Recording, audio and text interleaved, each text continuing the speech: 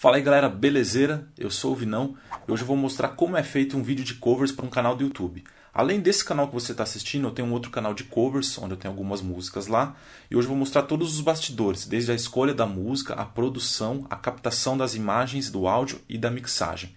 Então, roda a vinheta aí, editor. Então, para começar, vamos falar da escolha da música. Eu escolhi a música Quero Toda Noite, do Fiuk, com participação do Jorge Benjor o Fiuk tá participando do Big Brother Brasil e a todo momento ele tá cantando essa música lá dentro. Lá. Inclusive em alguns momentos apareceu lá um violão, lá um instrumento, ele também pegou e cantou. Então eu acredito que vai ter bastante gente pesquisando por essa música aí no, nas redes sociais, no Google. Então a ideia é pegar esse público que está procurando por essa música, que digite um trecho dessa música aí no Google, para eles caírem no nosso canal. Então para começar a produção da música, eu ouvi ela aqui bastante, é, eu tirei já as notas dela, já dei uma decorada na letra. É, eu acho que vai ficar legal uma versão dela meio acústica, com violão e voz. Dependendo aí do, do andamento, a gente coloca um carrom também nela. Então a minha ideia é captar esse áudio ao vivo. Eu vou chamar aqui uma pessoa para vir filmar essa música e ela vai fazer várias tomadas minhas cantando essa música e depois tocando no violão. Então, para depois eu poder sincronizar esse vídeo sem nenhum problema, eu vou ter que usar um metrônomo. Então o primeiro passo aqui é a gente definir qual que é o BPM dessa música. Eu tenho esse programa chamado aqui Mixmaster, onde eu vou arrastar o áudio da música original para ele. Ele vai detectar as batidas dessa música. Então ele está me dizendo aqui que a música tem aproximadamente 86 BPM.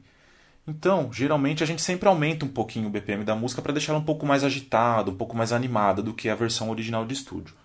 Então, eu vou abrir aqui no meu projeto do Reaper e vou colocar aqui 90 BPM. Vamos colocar aqui uma track com metrônomo. Beleza. Agora a gente precisa definir em qual tom essa música vai ser gravada. Eu estou vendo aqui que o tom original dessa música é em Ré.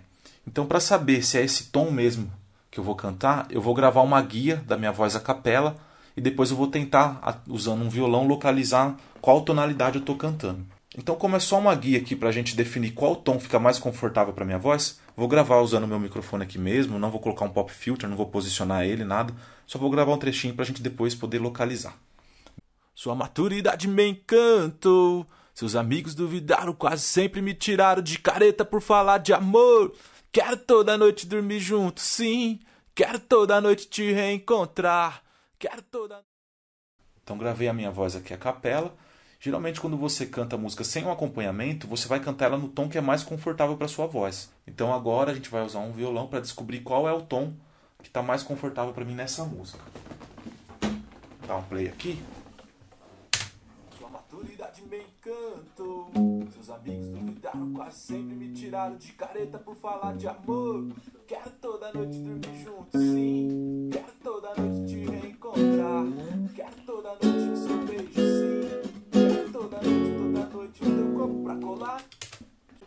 Beleza, galera. Aqui aparentemente eu estou cantando já no tom original da música. Então, nesse caso, eu não vou precisar alterar o tom que vai ser gravado. Caso fosse necessário, a gente ia entrar aqui em qualquer site de cifras aqui. E eles dão uma opção para a gente alterar o tom. Então, se a gente precisasse aumentar o tom da música, repara aqui que mudou. Se eu precisasse abaixar o tom da música, assim eu ia deixar ela numa região mais confortável para ela ficar mais agradável para quem está ouvindo.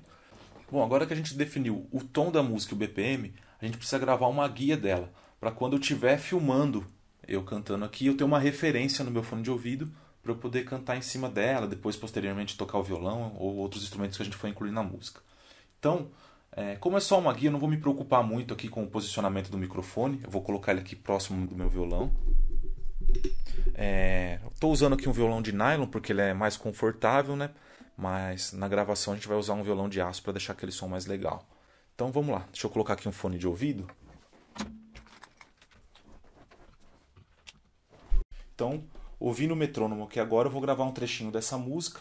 Como a música toda só tem quatro notas, eu não vou gravar ela inteira, só vou gravar um trechinho e depois a gente vai dar um looping nela. Vamos lá.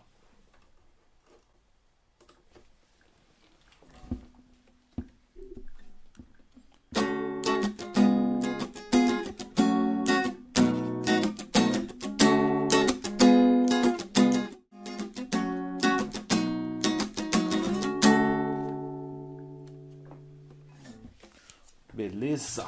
Então, vamos para a tela aqui agora.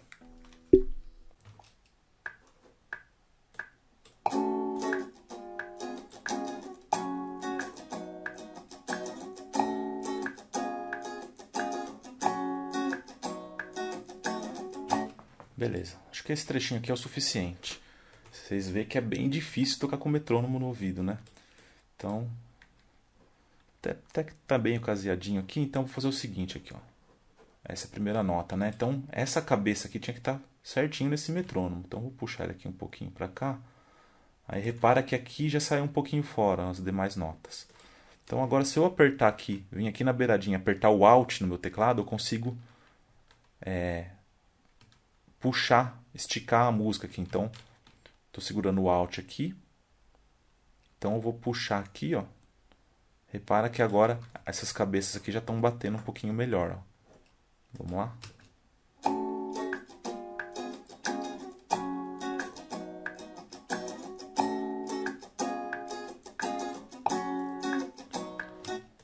Ó, aqui já saiu um pouquinho fora já. Vou dar um zoom melhor, ó que já passou um pouquinho fora do metrônomo. Então, deixa eu desligar o imã aqui. Vou apertar aqui. Aperto a tecla S para cortar essa faixa aqui. Então, agora eu vou segurando o Shift, eu vou arrastar até colocar na cabeça aqui também do metrônomo. Dá para fazer isso aí de forma automática. O Reaper tem algumas ferramentas que faz isso de forma automática. Mas como é só um trechinho aqui, acho que é mais rápido fazer na mão mesmo. Então repara que aqui também está um pouquinho fora e aqui também está um pouquinho fora. Então agora eu vou cortar mais ou menos aqui, ó, segurando o Shift e o Alt. Beleza, então agora é para estar tá no metrônomo aqui. Vamos ver aqui. Deixa eu ligar novamente aqui agora o imã para poder colar aqui esse, esse finalzinho aqui no, junto com o metrônomo. Vamos ver se está em cima agora.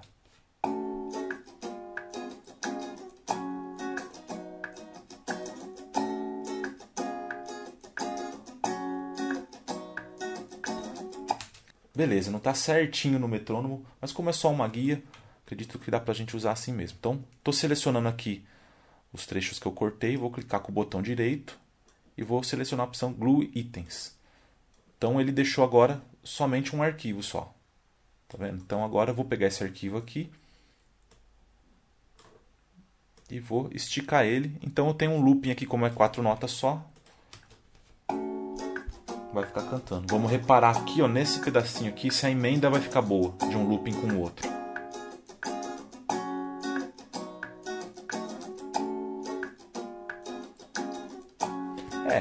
Beleza. Então, agora, o nosso próximo passo é chamar aqui o Periquito, o meu amigo que faz as filmagens, para ele poder filmar é, eu cantando, enquanto eu vou estar tá ouvindo aqui no, no fone de ouvido esse metrônomo e esse violão. Deixa eu confirmar com ele aqui se ele pode vir me filmar aqui. Tá Fala, man, beleza? Dá sim, cara. É... Que hora que você quer que eu suba aí?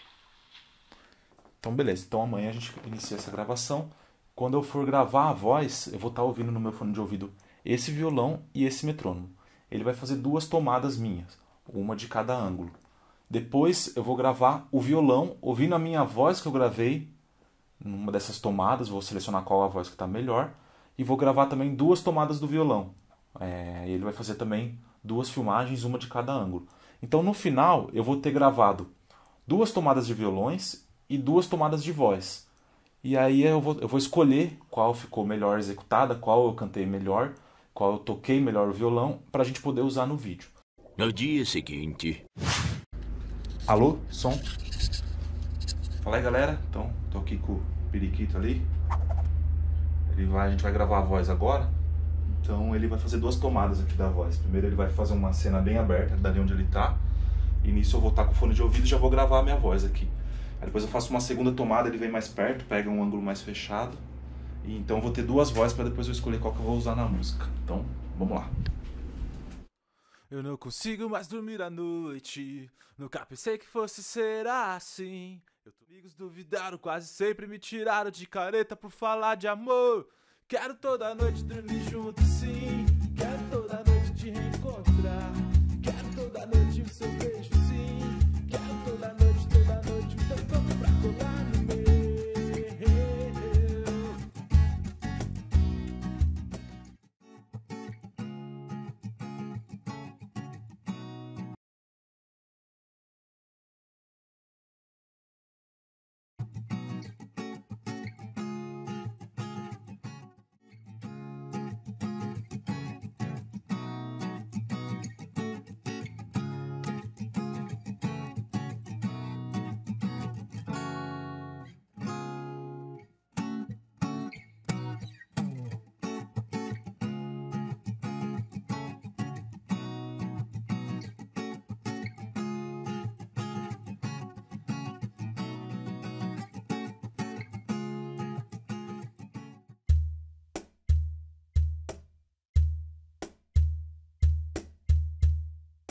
Duas horas depois. Finalizamos aqui as gravações da voz do violão. Tô até suado aqui, porque a gente precisa desligar o ar-condicionado para gravar a voz e o violão sem interferir no áudio final. De última hora a gente resolveu gravar também um carrom aqui. É... Eu gravei usando aqui, ele tem dois microfones. Um para caixa e outro pro grave. Eu acabei usando esses dois microfones dele. O som fica bom também.